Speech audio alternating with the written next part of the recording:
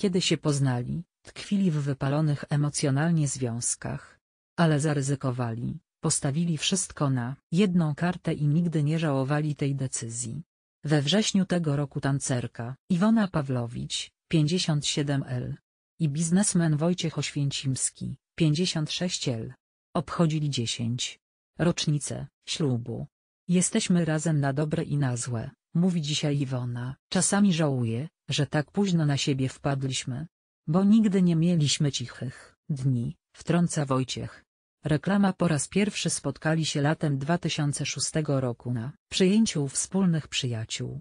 Ona, 44-letnia wtedy jurorka tańca z gwiazdami, przyszła z ówczesnym mężem, partnerem, z parkietu Arkadiuszem Pawlowiciem.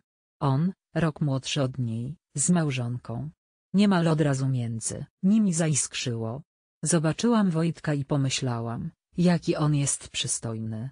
W czerwono-czarnej przepasce na długich włosach wyglądał obłędnie. Na przywitanie podałam mu rękę i przeszedł mnie dreszcz, wspomina tamten lipcowy wieczór tancerka. Nie minął tydzień, jak Wojciech wysłał jej pierwszego SMS-a. A kiedy dostał odpowiedź, zaczął do niej pisać kilkadziesiąt wiadomości dziennie. Spotkanie twarzą w twarz było kwestią czasu. Na pierwszą randkę umówili się w Toruniu. Tam, w wieży życzeń.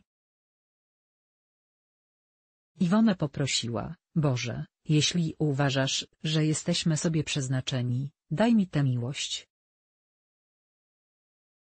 Pozwól, byśmy nie musieli już płakać. Myślę, że Bóg dał nam najlepsze rozwiązanie, mówi Iwona. Ale prawdziwy przełom nastąpił w Zakopanem. Tam zakochali się w sobie, jak para nastolatków.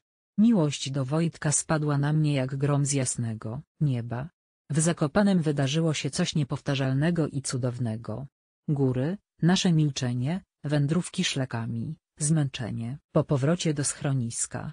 Nie chodziło o erotykę, tylko o bliskość. Wtedy wiadomo, czy ludzie potrafią ze sobą być.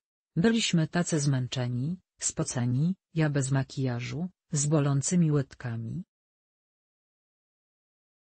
A on patrzy na mnie jak na mistrz świata, wspominała Iwona.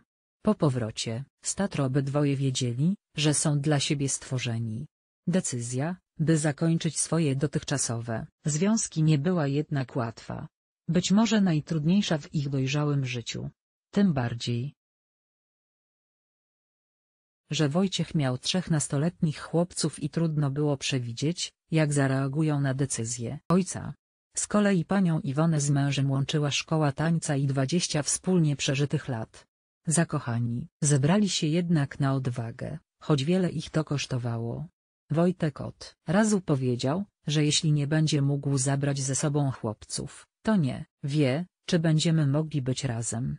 Nie wyobrażał sobie, by zostawić dzieci, a ja, tę jego miłość do synów ogromnie szanuję. Kiedy więc postanowiliśmy, że chcemy być razem, przeprowadził się do mnie z chłopcami. Bo prawdziwa miłość nie wybiera. Kiedy zaczyna się kalkulować, to już nie jest miłość, mówi tancerka. Zamieszkali w pięcioro w dużym domu pod Olsztynem, choć mama tancerki ostrzegała córkę, że synowie jej partnera mogą jej nigdy nie zaakceptować. Na szczęście tak się nie stało. Synowie Wojciecha pokochali Iwonę jak własną mamę. Byłam z nimi w radosnych i trudnych chwilach, towarzyszyłam im w dojrzewaniu i poznawaniu świata. Niedawno usłyszałam od nich, że mnie kochają. To wielka sprawa, wzrusza się Iwona. Swojego ukochanego ceni nie tylko za wrażliwość, ale za to, że zdejmuje z jej głowy codzienne problemy. Nie dosyć, że jest moim menadżerem i zajmuje się zawodowymi sprawami, jednocześnie prowadzi firmę. Po raz pierwszy w życiu to ja mogę się poczuć słabsza i bardzo kobieca, Iwona mówi z dumą o mężu. Kiedy synowie Wojciecha opuścili dom, dla nich dwojga okazał się zbyt duży. Wybudowali więc mniejszy. Także za miastem. Dla synów zawsze jednak jest tu miejsce. Tym bardziej dla wnuków. 27-letni Łukasz pod koniec kwietnia został tatą. Szczęśliwa babcia Iwona od razu podzieliła się tą radosną nowiną w internecie. Nie ukrywają, że ich miłość wciąż kwitnie. Tancerka dla drugiego męża rzuciła palenie papierosów. Jest mu za to ogromnie wdzięczna. Bo już nie pali 12 lat. Dziś są niemal nierozłączni. Wojciech zawsze towarzyszy żonie podczas nagrań do tańca z gwiazdami. Kiedy pytają nas, za co się kochamy, odpowiadam, że za wszystko. Za nasze dobro i za zło, za nasze wady i zalety, wzrusza się Iwona. Zobacz więcej materiałów z życia gwiazd.